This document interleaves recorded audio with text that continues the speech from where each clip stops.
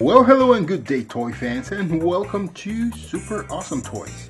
My name is Panama Zartan, and in this episode, we'll take a look at the Ori Toys Acid Rain Speeder Mark II and SOL Commander.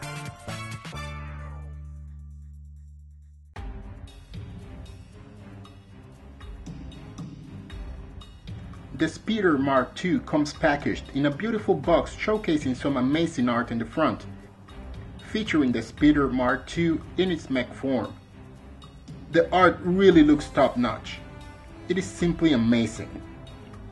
On the bottom right corner, we get a silhouette of the included figure because, yeah, it comes with a figure.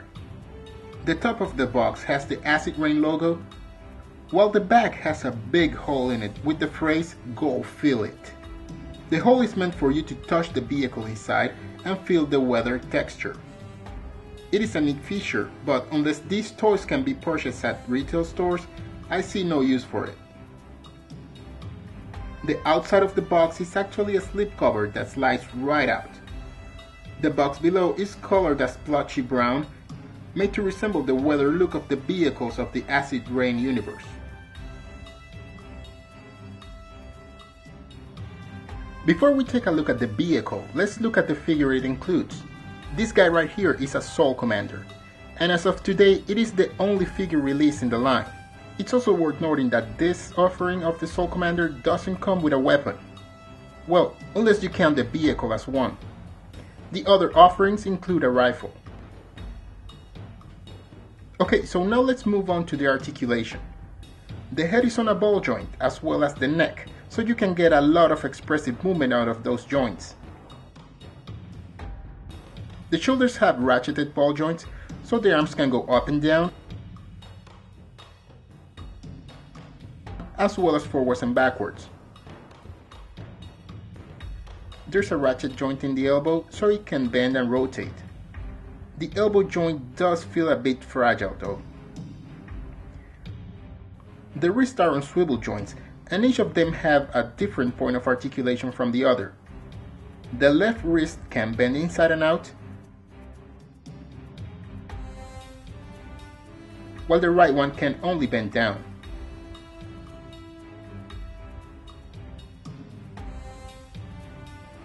There's a swivel joint at the waist, which makes me wonder why not a ball joint instead. The legs have ball joints at the thighs, so they have a lot of freedom of movement.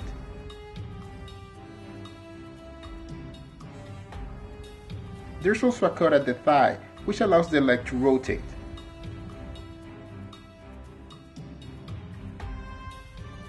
The figure also includes double jointed ratcheted knees, which are very tight.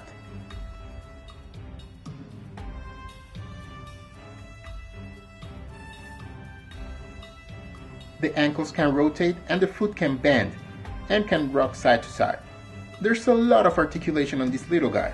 And also worth mentioning is that the joints on him are super tight. There is not one loose joint in this whole figure whatsoever.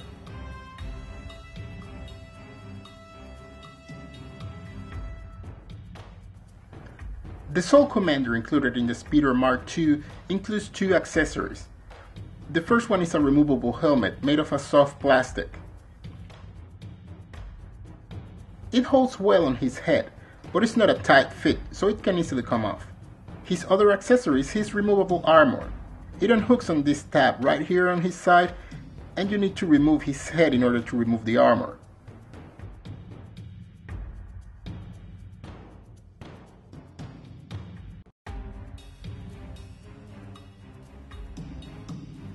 As with the helmet, the armor is made of soft plastic. The Speeder Mark II includes four accessories. On the front wheels, we get a spade and a pickaxe that are removable. Just be careful when doing so, since they're in there really tight and I almost snapped the spade when I tried to remove it. It also includes two attache cases that slide right out of the top of the back wheels. The attache cases can open and close, but I had to force mine open as the paint had dried on the hinge. The SOL Commander can easily hold each of these accessories.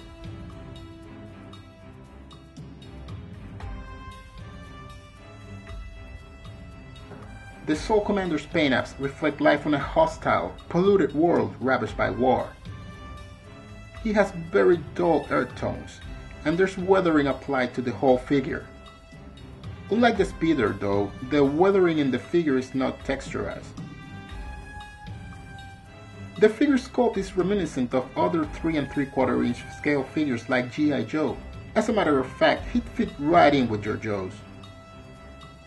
I love the fact that by removing his helmet, we get a look at the gas mask he's wearing. That's a very cool, creepy look. Even without his vest, he still looks amazing, as there is some sculpting on the shirt underneath.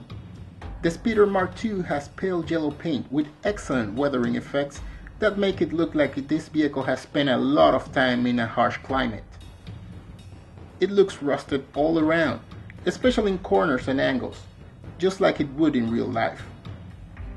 And you can even feel the texture. The wheels are made of rubber and it rolls around nicely. The roof can open just by untapping it in the front and pulling it back. It has a seatbelt made of soft rubber that you can unclasp in order to get the SOL Commander inside. One gripe I have with this vehicle is the difficulty on getting the SOL Commander sitting properly inside and buckling the seatbelt back again. But once you get the hang of it, it is not as difficult. Once you have your SOL Commander sitting properly inside the speeder, close the roof again and you're set. The cool thing about the Acid Rain line of toys is that the vehicles all have transformation modes. It is very simple and you can practically see where everything will end up. So you start by pulling the arms out to the side and bending them at the elbows. These tabs here will go into these holes when you transform it back into car mode.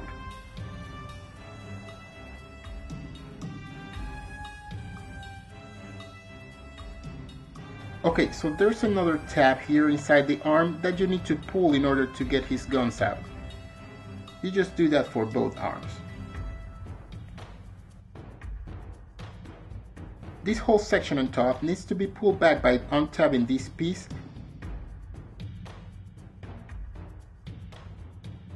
and pulling this other up.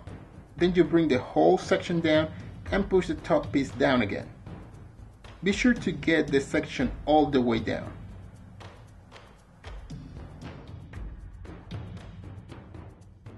This small flap is folded forward on top of the speeder's roof, and that will allow you to push the SOL Commander's head back.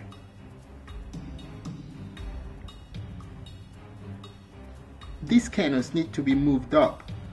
They're both connected, so moving one will move both. Now you need to rotate the feet inwards and untap the leg from the body by rotating it outwards. Rotate the foot and do the same for the other leg.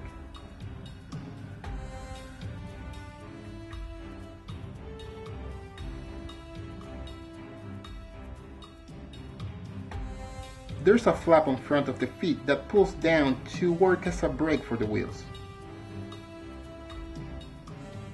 Now this whole leg assembly here needs to be pulled down, but you need to work it together with the legs to get it to work correctly.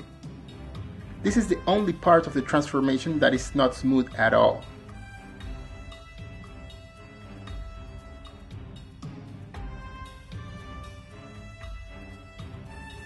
You need to plug the assembly behind the vehicle's nose here by pulling this small tab forward.